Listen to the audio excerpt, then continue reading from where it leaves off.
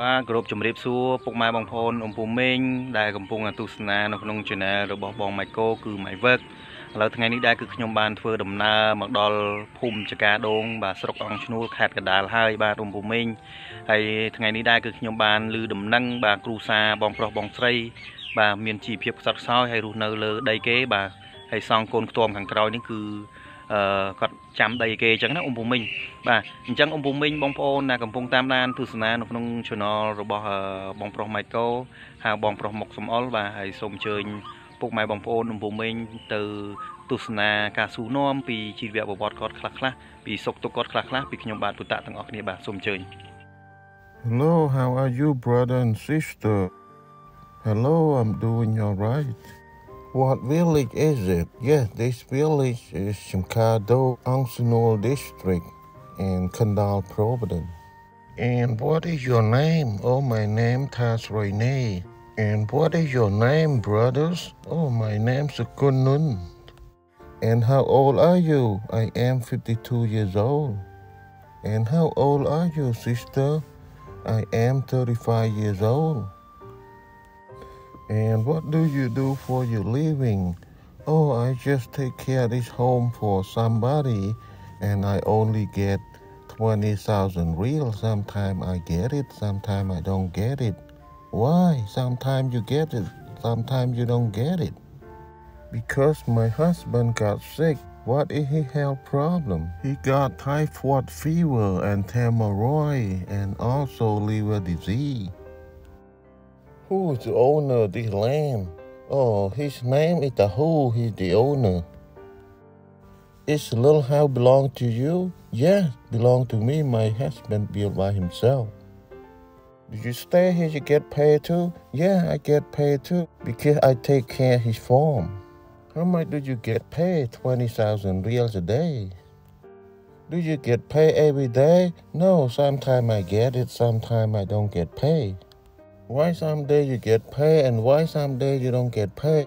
Because someday my husband cannot work, he's getting sick. Oh, that's the reason why. Do you have any brother and sister? Yes, I have, but I'm so poor they abandoned me because I'm poor and they are rich. Why they cut you off from the family? Only one reason I'm poor, I get married with the poor man, and then they cut me off from the family. Why don't you ask them again? Yes, I asked them because they said I only earn 50,000 riels a day, and then I take those money to take care of my kid, and my husband gets sick too, and they said they don't want me anymore. They kick me out. I heard your uncle took your land. Why he took your land? After the Pol Pot regime, my parents occupied that land and I lived with them too. And my uncle asked my father, why don't you give this land some to me? And my father said, no, I can't because this little land, I'm poor too. I have to give to my children after I die. And after that, I growing up, I got married. I just left that village. So then a year later, my parents died, and I went back to my village. And my neighbor, the villager lived there, they told me my uncle took my land. So I can't believe this, but uh, I went there and I asking him why you took my land. He said, "You can have it back. Give me five hundred dollar." No, I don't have any $500. I'm so poor because you know how my condition. This is my father land. Why you take it? And then he built his son home in there too. He not gonna give to me back. And he keep repeat saying, give me $500. I will give that land back to you. That very sad because um get older. I don't have any place to go. Only hope have that land, you know. You have to give him $500. Yeah, I have to give him $500. Did you give it to him yet? No, I don't have any money. I'm so poor, I couldn't even afford anything. Do you stay here to take care of the farm? Do you get paid $5? Yeah. Why sometimes you get paid? Why sometimes you don't get paid? I'm not sure. And my husband asked him to give him $200 a month, but he only give 20,000 riels a day, but sometimes don't have any pay. How do you get your 20,000 riels a day? Yes, he sent it by the truck driver that they loaned the metal here. Oh, you get 20,000 riel from the truck driver. Yeah, sometime it's the time to getting paid. And then he give my husband the, the money. Instead of that, he let my husband loan 50,000 riel. I don't understand. Do you have the salary? No, it's not the salary. I just work every day. At one day, 20,000 riel it's not enough 20,000 riel and one kilo of rice is 2400 so I only bought a few kilo and then if they run out I don't have something to eat and sometimes they gave me some and sometimes I didn't have any food at all left over so uh, someone they gave me like two or dry noodle and then I eat with my husband I'm pretty poor and have nothing. Around here, it's not enough, though very low income for me. Do you think if you have opportunity, do you want to start a little local business like selling fish, selling kind of vegetable, and sell everything like everybody else sell to get the better life than you are now? Sure, I want to do it, but I don't have any money to start it. It's so hard.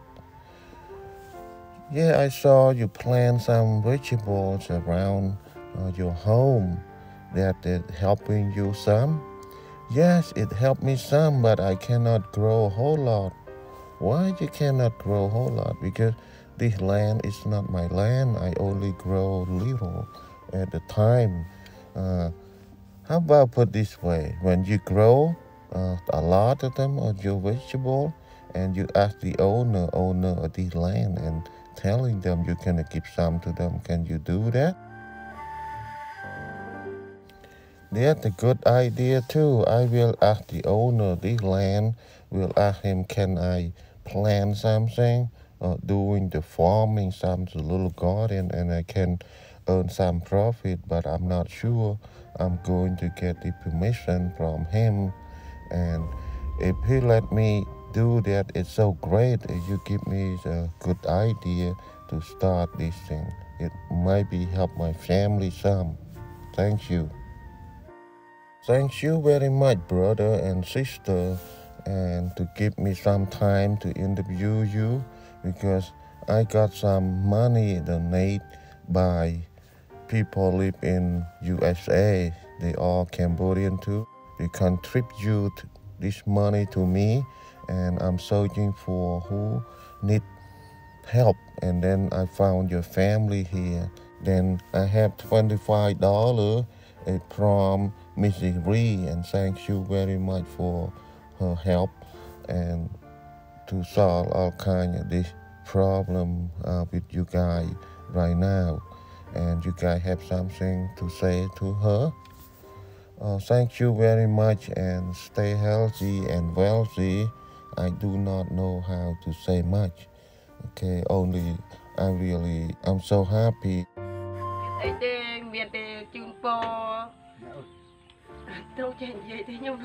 Hi, my coach again. You can hear all the story that when they're interviewed by Putak. He traveled all over across the country. He's my team. I live in US and he live in Cambodia. We try to help the best we can. We working hard on it. If you guys like it, want to help, please share the video.